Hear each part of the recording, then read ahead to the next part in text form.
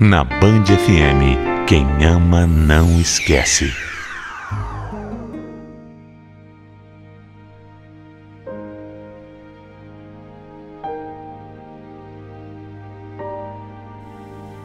É quando a gente menos espera que as coisas podem mudar para valer.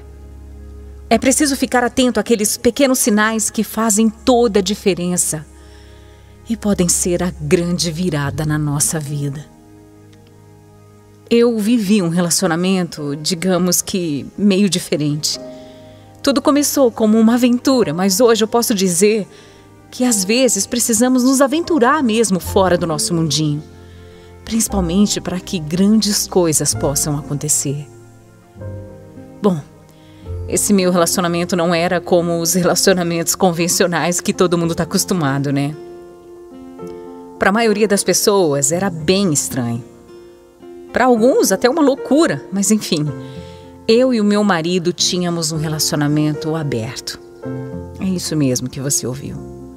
Nós morávamos juntos, éramos casados, mas vivíamos uma relação aberta. Era a opção nossa, uma decisão que a gente tomou em conjunto. Meu marido trabalhava demais, inclusive aos finais de semana. E ele sempre precisava viajar a trabalho e acabava passando dias e dias fora de casa. Eu ficava muito sozinha. Então a gente decidiu manter essa relação aberta para que ninguém se sentisse sozinho quando estivesse longe um do outro.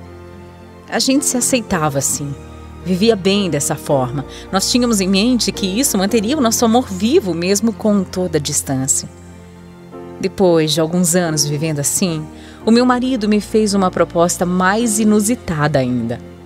No começo eu até estranhei. Mas como a gente já vivia nesse mundo mais liberal, eu fui aceitando numa boa. O meu marido me pediu para que eu arrumasse um namorado fixo. É, é exatamente isso. Ele estava numa fase de viajar muito e ele não queria que eu ficasse sozinha. Por isso, ele sugeriu que eu arrumasse um namorado que pudesse ficar comigo enquanto ele viajava. Olha, a gente tinha um relacionamento aberto, mas nunca envolvia sentimento por outras pessoas. Eram, eram só encontros, eram só casinhos.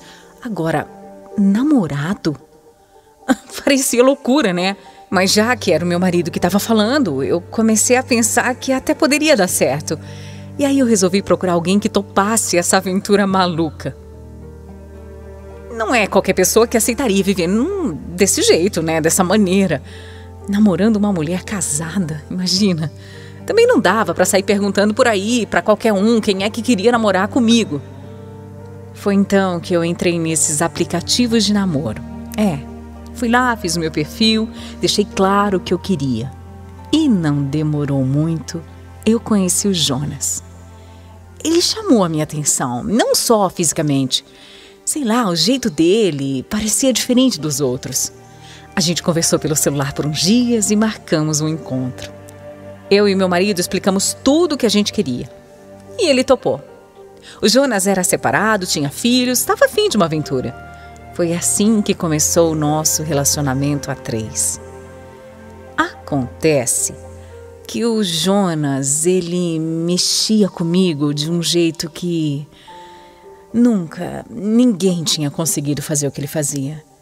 Eu gostava dele de um jeito diferente, sabe? E depois de uns dias nos conhecendo, dia 12 de junho, no Dia dos Namorados, ele me pediu em namoro oficialmente. Foi ali que a gente passou a se envolver de vez. Eu achava o Jonas muito corajoso, corajoso mesmo. Primeiro, por ter aceitado um relacionamento aberto, e segundo, por ter me pedido em namoro mesmo, deixando claro que era sério e não era só uma brincadeira. Depois de um tempo, meu marido veio com uma outra proposta. É, de nós três morarmos juntos na mesma casa. A ideia era que fôssemos como três amigos morando juntos, dividindo as contas, a casa, tudo, tudo. Eu, meu marido e o meu namorado. Só que esse relacionamento, que era três, com o tempo passou a ser mais a dois mesmo. Jonas era maravilhoso comigo, ele me tratava super bem. E quando meu marido ia para as viagens dele, era o Jonas que cuidava de mim, que me dava mais atenção ainda. Ele era como um refúgio, sabe? Era como alguém que ia me decifrando, ia me protegendo. A verdade é que o meu relacionamento com meu marido escondia algo. algo muito desesperador. Era isso. Até então eu nunca tinha contado para ninguém, mas. Mas quem convivia, sabe? Quem quem estava mais próximo, acabava percebendo. O Jonas percebeu. Ele foi notando que tinha alguma coisa estranha comigo. Ele percebeu que eu escondia coisas sobre o meu marido e que eu queria me abrir. É, eu queria falar, eu queria colocar para fora. E ele foi muito delicadamente conseguindo arrancar isso de mim.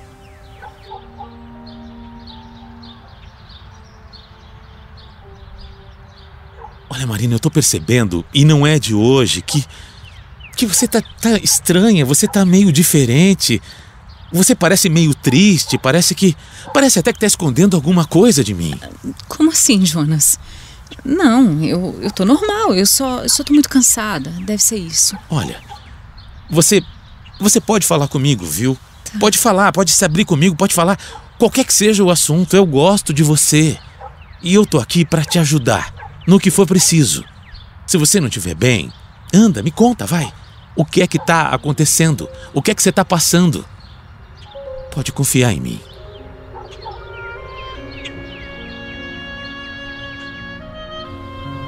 Sim, eu confiava demais no Jonas. Eu sabia que ele poderia me ajudar e muito. Eu já não conseguia mais guardar aquilo tudo dentro de mim, eu não conseguia mais disfarçar. Então eu contei. Eu decidi contar que eu sofria, e sofria demais. Aliás, eu sofria, eu sofria agressões do meu marido durante todos aqueles anos.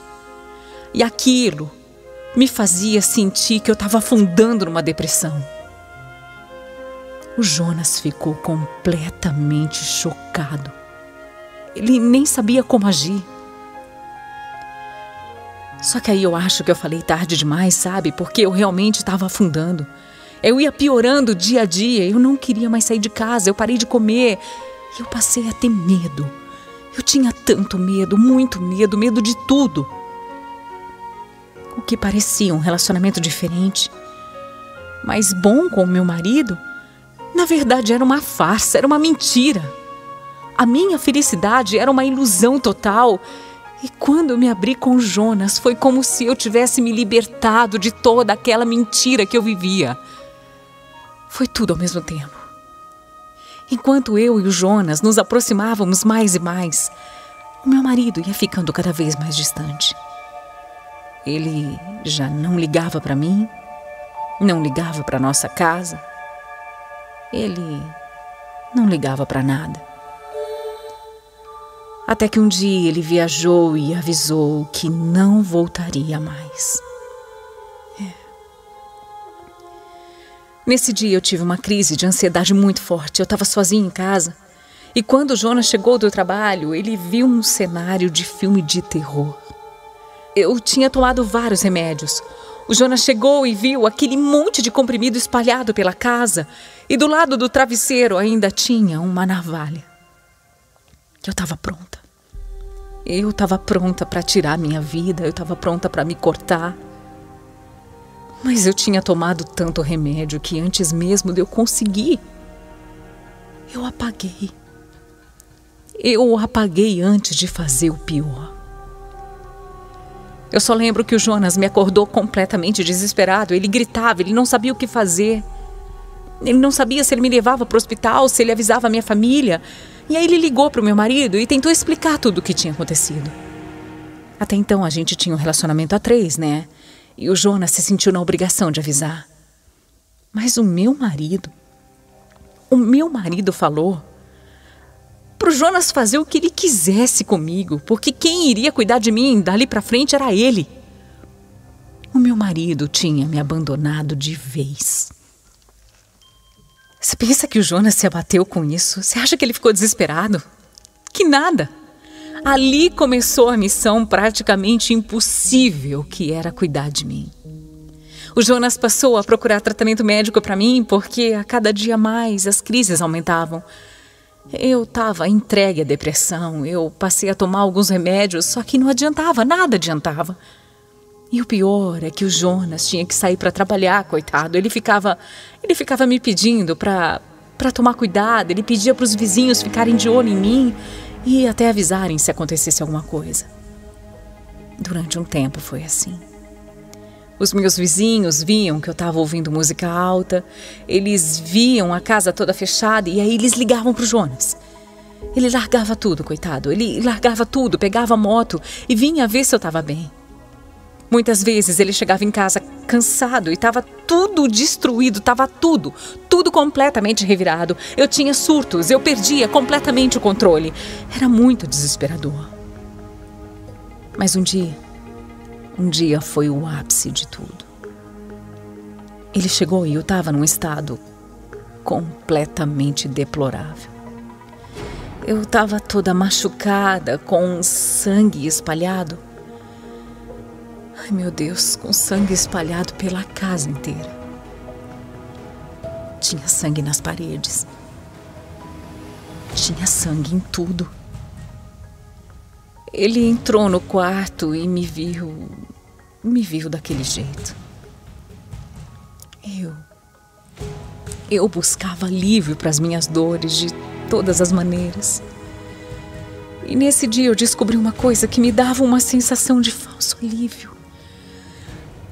Eu me senti aliviada. Eu me. eu me cortava, eu me automutilava. Eu passei a me cortar, eu me cortava em vários lugares e sangrava muito. Eu achava que eu estava melhorando, sabe, da cabeça. Eu tinha certeza disso. Mas não, era o fundo do poço. Eu estava perdendo a luta para a depressão, eu estava totalmente irreconhecível. Mas mesmo vendo tudo aquilo acontecer, o Jonas não me abandonou. Sabe o que, que ele fazia?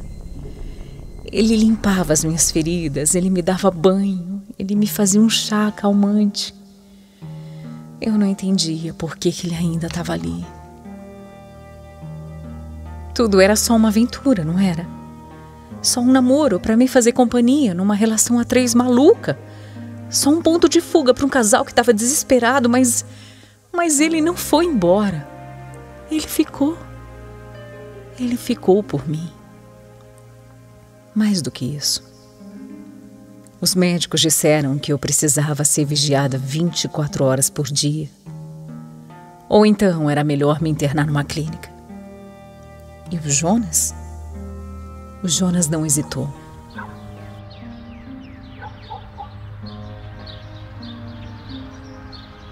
Marina, a gente sabe que você não tá nada bem. Então eu eu vim te falar que eu achei melhor eu eu tomei uma decisão, sabe? Eu vou largar o meu emprego. Isso, eu vou largar o meu emprego para poder cuidar de verdade de você. Não, Jonas, não, por favor, não faz isso, não, não faz isso. Não, eu já decidi. Você não precisa largar a sua vida por minha causa. Não quero que você faça isso, entendeu? Já tá decidido. Você não ouviu o que disse o médico? Se ninguém ficar com você, você vai ter que ir para uma clínica. E eu não quero que isso aconteça. Eu não quero ir te visitar em um hospital e ver você completamente dopada de remédios. A gente vai passar por essa fase juntos, entendeu? O, olha aqui, olha, para mim. A gente vai estar tá junto. Eu e você. Eu não vou te abandonar.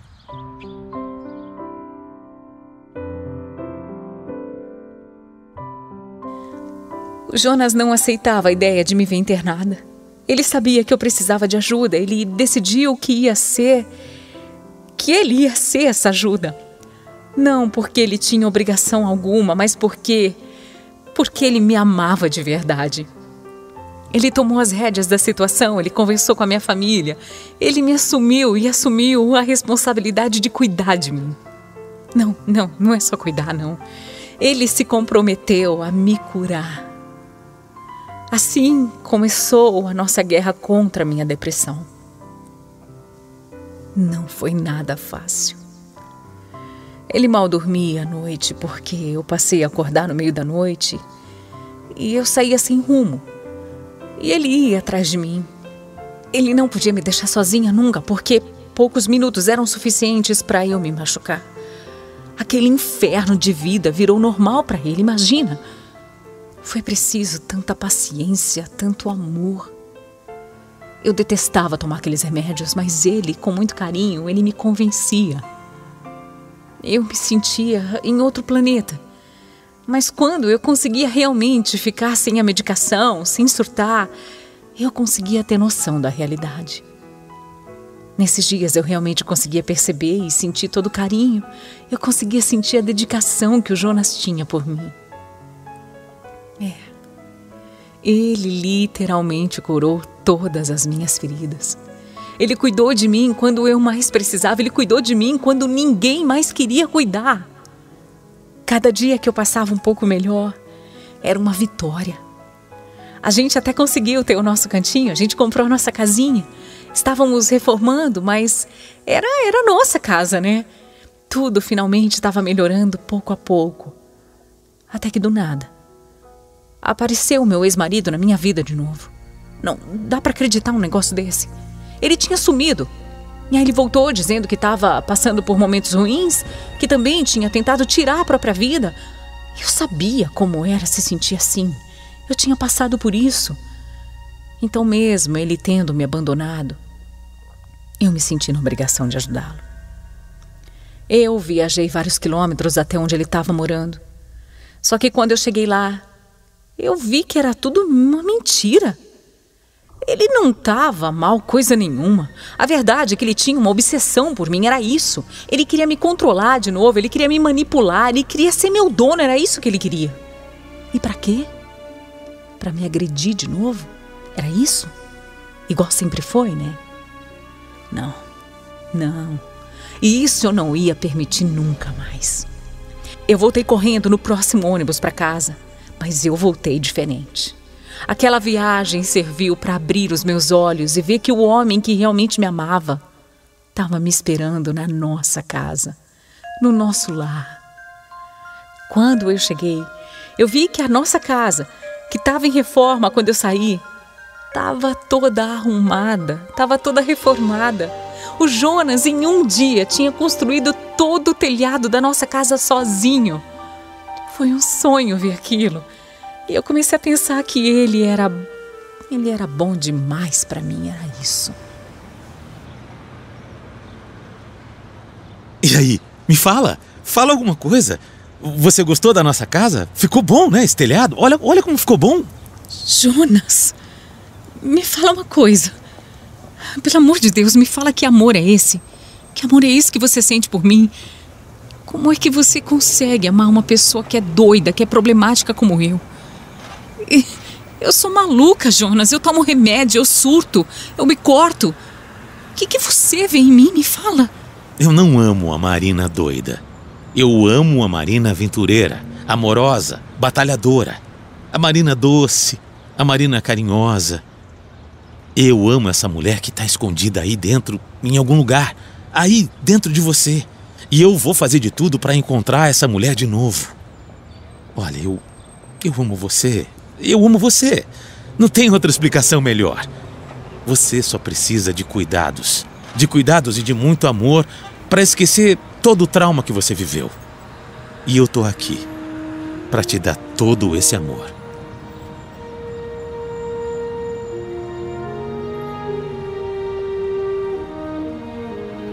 Eu não sei o que eu faria sem o Jonas na minha vida. Provavelmente eu estaria num lugar bem diferente agora se eu não tivesse conhecido ele. O Jonas me fazia ver a pessoa que eu realmente era. Ele estava ali para abrir os meus olhos, para me fazer acreditar, para me fazer entender que aquilo era uma fase e que eu ia sair dessa. Continuamos com meu tratamento contra a depressão, com altos e baixos, claro, mas algumas recaídas eu tinha, mas graças a Deus, graças ao amor e à dedicação do Jonas, eu fui diminuindo aos poucos os meus medicamentos. As minhas cicatrizes foram se fechando também e literalmente sumindo. Porque conforme o tempo passava, eu não conseguia mais olhar para aquelas cicatrizes no meu corpo e acreditar que eu tinha feito aquilo.